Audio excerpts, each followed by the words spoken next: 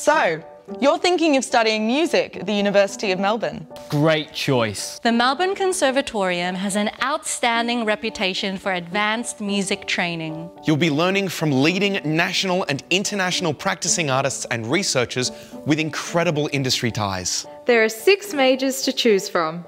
Music performance, with a focus on classical and symphonic music. Composition, where students learn to compose their own works. Musicology and ethnomusicology, where students choose to research world music and examine the importance of music. Music Studies, a program tailored to diverse music related careers. Jazz and improvisation, to explore contemporary music performance. And interactive composition, exploring music and sound creation for a range of contexts such as film, gaming, and art. Each major is a three year degree with an optional recommended fourth year honours.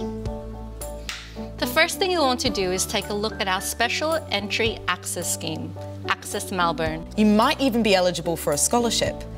Details and eligibility criteria are on the university's website. If you're Aboriginal or a Torres Strait Islander, the Wilin Centre for Indigenous Arts and Cultural Development is here to support your art. Before you apply, get in contact with them for some additional information about your study options. The application process for the Bachelor of Music consists of three parts. Part 1, the VTAC application form. The VTAC website is where you'll want to head. Set up an account, pay a one-off fee, and you are all set to apply. VTAC applications open the first week of August to apply for our start of year intake.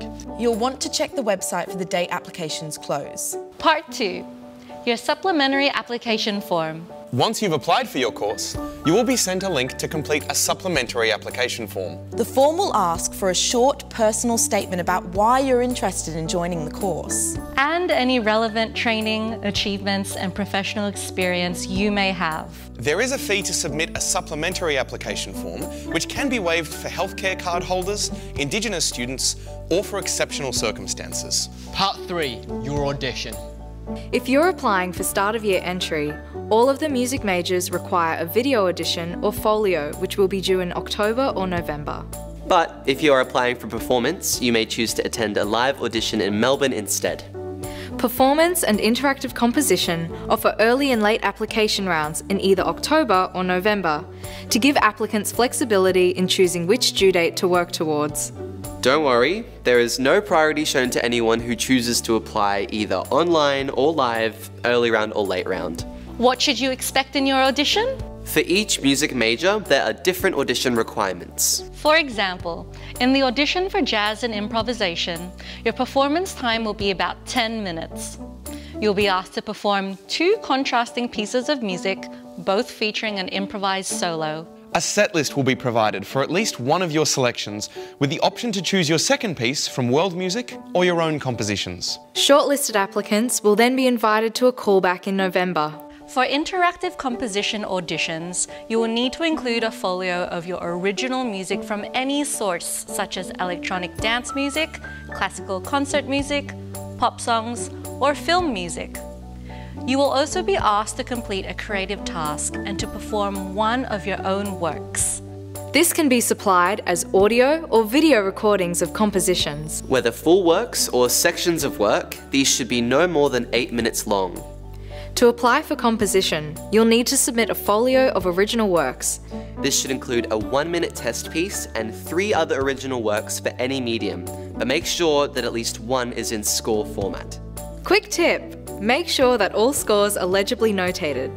This can be by hand or computer.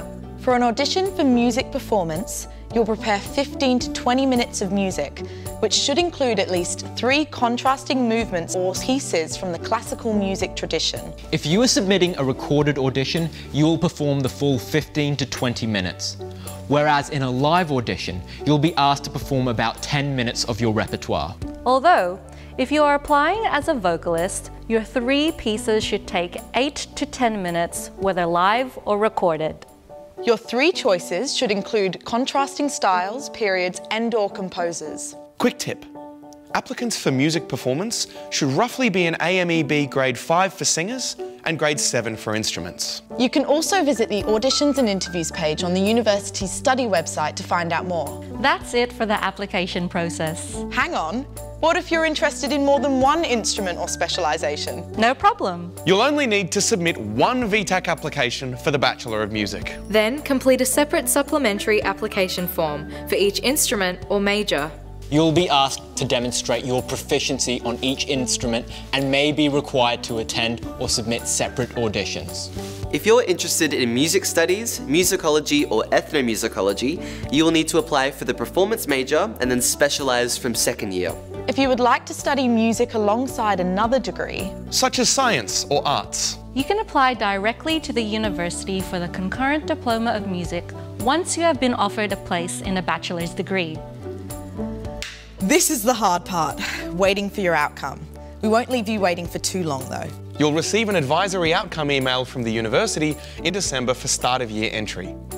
Dates for outcomes for mid-year entry will be posted on the website. While it's not your formal offer, you will find out one of three things. Either one, you have a place in the course provided you meet all the entry requirements, Or two, you may have a place provided you meet the entry requirements and provisional to places being available in the course. or three, unfortunately, you have not been successful at this time. If you've not been successful, don't be disheartened.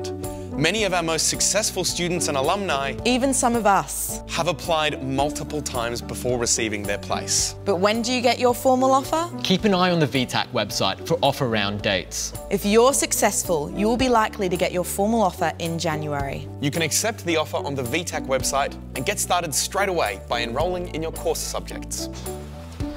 Best of luck! We can't wait for you to join us.